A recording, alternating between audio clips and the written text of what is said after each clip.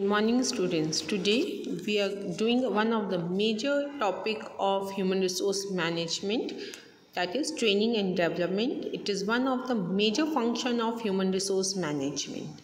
In this particular we come to know about the meaning of training and development objectives of providing training and development to the employees the importance significance of training and development the various methods adopted by the company the process of training and development career development and career development process. So firstly start with the training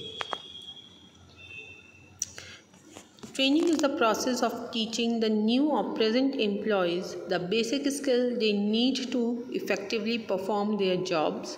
It is based of personal management.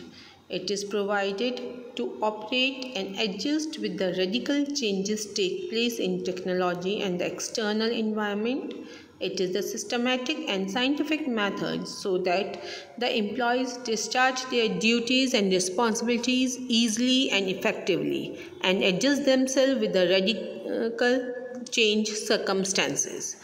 Uh, training is one of the most crucial and ongoing process which is conducted in the organization as it is a basic requirement of the human resource.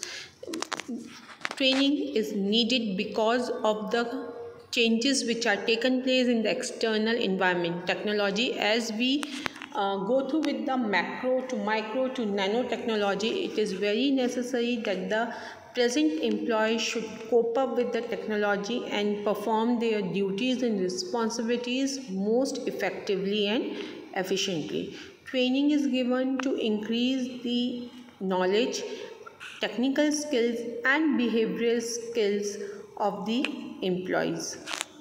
And there are the few major definitions.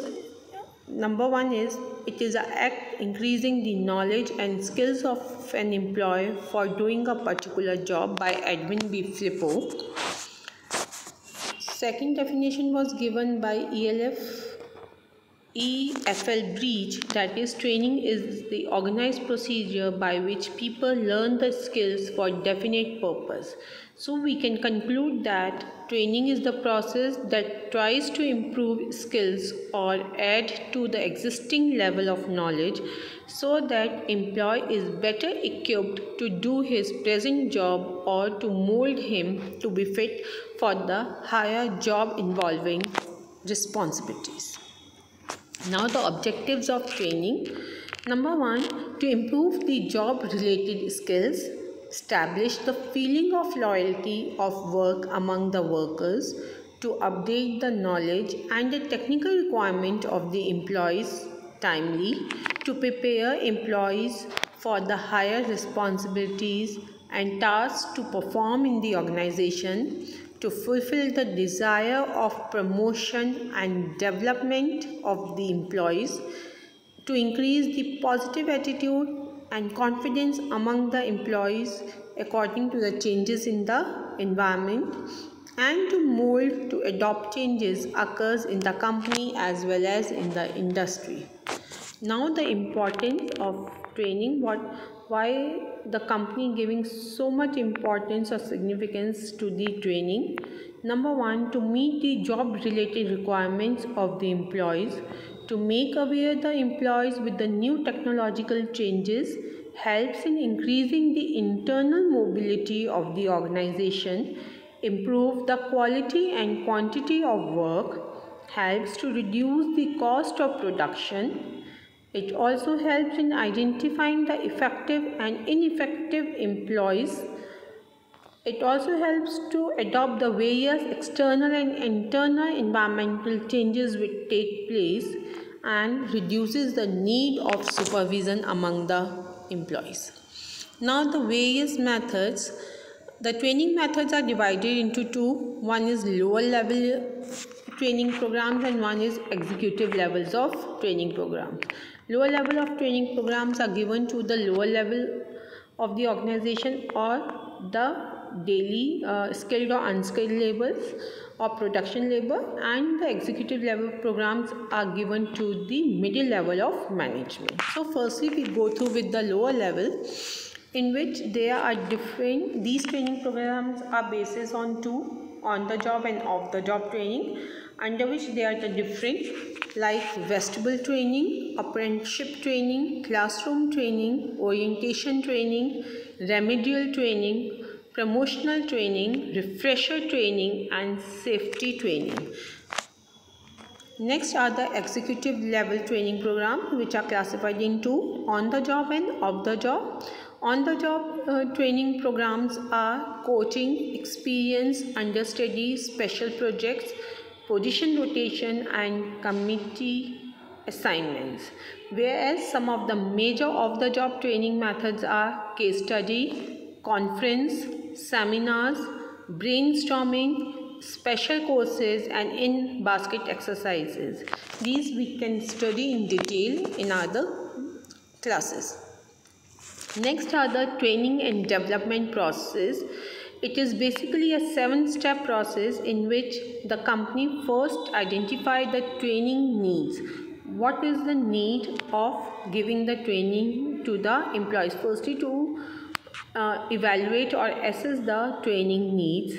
After that, the second step is ensure the employee's readiness. It is also very important that the employee should also ready to take the training. If we are forcefully giving the training the employees cannot give their best to the training programs. Next create learning environment. A proper learning environment should be created in the organization so that the employees should enjoy their training period. Next is selecting training methods and materials. Training should be imparted with the proper training equipments handwritten material or the other required material which are needed are small equipments machineries which are needed to be the workers for their training programs. Next is conducting the training. The training should be conducted uh, for a prescribed time so that the employees should be available there. Then ensure transfers of training. It also to be the training should be work into different different batches so that they can perform one by one. And now is evaluating the training.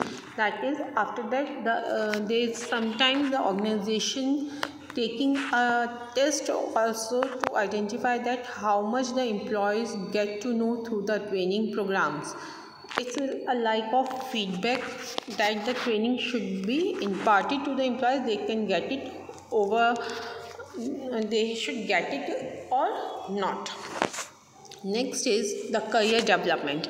Career development is the interaction of physiological sociological uh, economical physical psychological and chances factor that shape the sequence of jobs occupations or career that a person may engage in throughout a lifetime.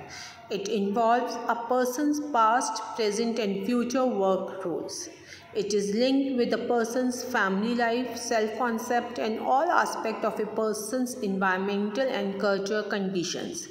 It is an ongoing and formalized effort that focuses on developing enriched and more capable employees. Career development is a process through which we, uh, the HR manager should focus on how a particular employee's career should be developed in the organization. The definitions of it is the process in which personal experience, concept, and publicly observable aspect of career interact to precipitate each successive stage of occupational status by Mansfield. Secondly, it is the self-development over the lifespan through the integration of the roles, settings and events of a person's career life by Gearbes and Murray. Now the career development process which is implied by the HR manager in the organization, it is a five-step process. Number one, self-assessment second exploration third decision making and goal setting fourth reality testing and fifth is implementation. Firstly self assessment it is done by the employee to get where he wants to go in the future exploration. Then he searches the different options to fulfill his career uh, needs. Then decision making and goal setting decide how he can go for developing his career. Reality testing is it on the same organization? How he can achieve its career uh, development and then implementing those. So this is the particular process through which the career development takes place. Thank you so much